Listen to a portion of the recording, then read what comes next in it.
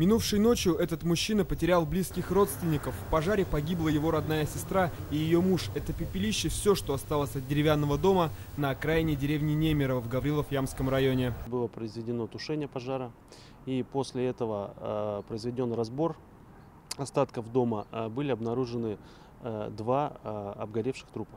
Там на месте работала следственная группа.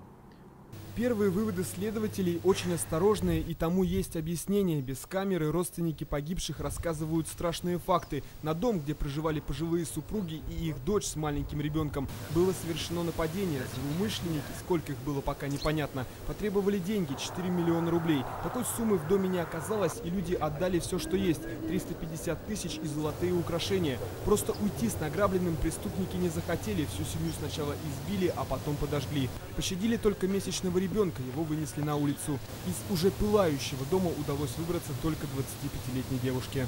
Около трех ночи пострадавшую доставили сюда, в Горелов-Ямскую центральную районную больницу. Молодая девушка получила сильные ожоги.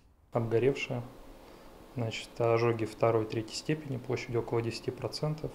Госпитализирована она у нас в реанимационное отделение.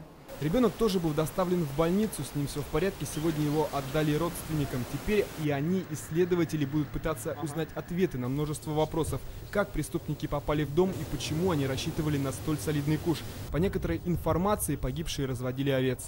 Есть предположение о том, что проживавшие там лица занимали, вели частное подсобное хозяйство и занимались фермерством. Сегодня утром по всей области был введен план перехват. На автодорогах до сих пор работают заградительные посты. В полиции есть информация, что преступники скрылись из Немерова на автомобиле. Но за целый день стражам порядка так и не удалось найти хоть какие-то зацепки. Александр Лисицын, Елена Масалова. День в событиях.